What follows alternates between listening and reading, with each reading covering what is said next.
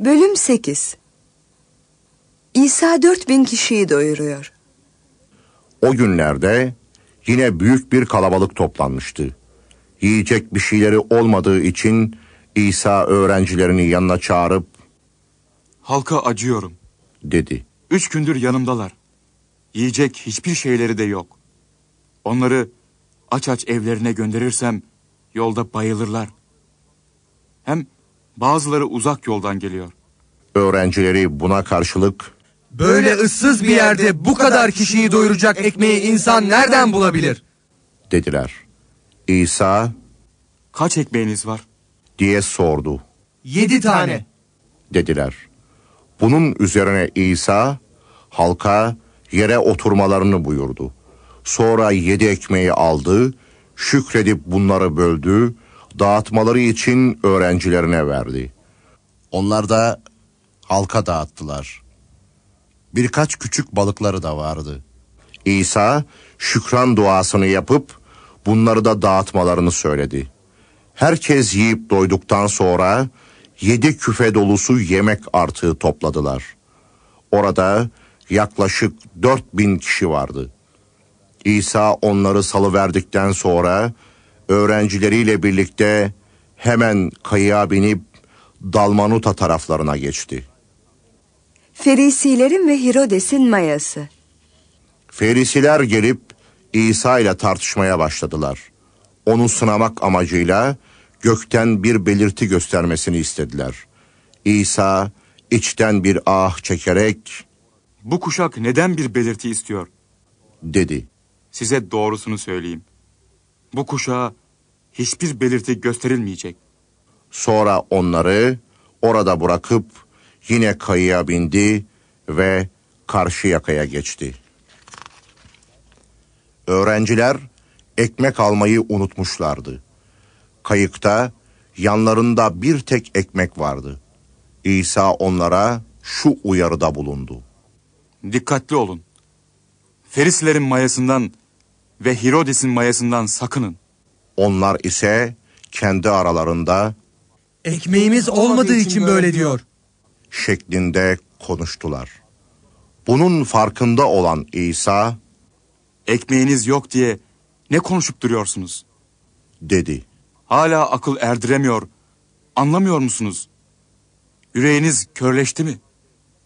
Gözleriniz olduğu halde görmüyor musunuz? Kulaklarınız olduğu halde işitmiyor musunuz?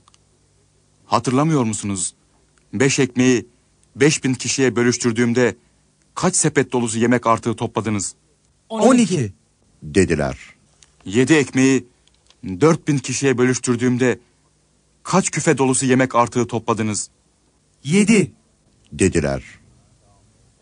İsa onlara Hala anlamıyor musunuz? dedi. Beytsayda'da kör bir adam iyileştiriliyor.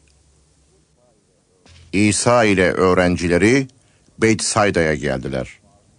Orada bazı kişiler İsa'ya kör bir adam getirip ona dokunması için yalvardılar. İsa körün elinden tutarak onu köyün dışına çıkardı. Gözlerine tükürüp ellerini üzerine koydu ve Bir şey görüyor musun? Diye sordu. Adam başını kaldırıp İnsanlar görüyorum. dedi. Ağaçlara benziyorlar ama yürüyorlar. Sonra İsa ellerini yeniden adamın gözleri üzerine koydu.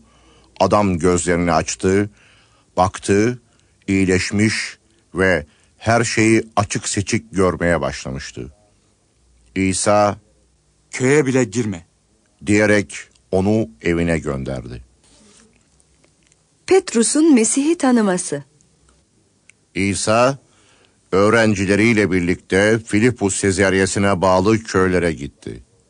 Yolda öğrencilerine Halk benim kim olduğumu söylüyor. diye sordu. Öğrencileri ona şu karşılığı verdiler. Vaftizci Yahya diyorlar. Kimi ise İlyas, kimileri de peygamberlerden biri olduğunu söylüyor. O da onlara Ya siz? Ben kimim dersiniz? diye sordu. Petrus, sen Mesih'sin cevabını verdi. Bunun üzerine İsa bu konuda kimseye bir şey söylememeleri için onları uyardı. İsa ölüp dirileceğini önceden bildiriyor.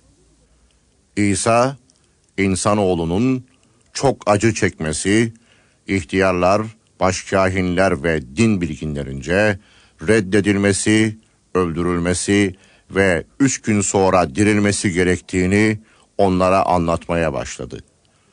Bunları açıkça söylüyordu. Bunun üzerine Petrus onu bir kenara çekip azarlamaya başladı. Ama İsa dönüp diğer öğrencilerine baktı, Petrus'u azarlayarak Çekil önümden şeytan. dedi. Senin düşüncelerin Tanrı'nın değil, insanın düşünceleridir. Öğrencileriyle birlikte halkı da yanına çağırıp şöyle konuştu. Ardımdan gelmek isteyen kendini inkar etsin. Çarmıhını yüklenip beni izlesin. Canını kurtarmak isteyen onu yitirecek. Canını benim ve müjdenin uğruna yitiren ise onu kurtaracaktır.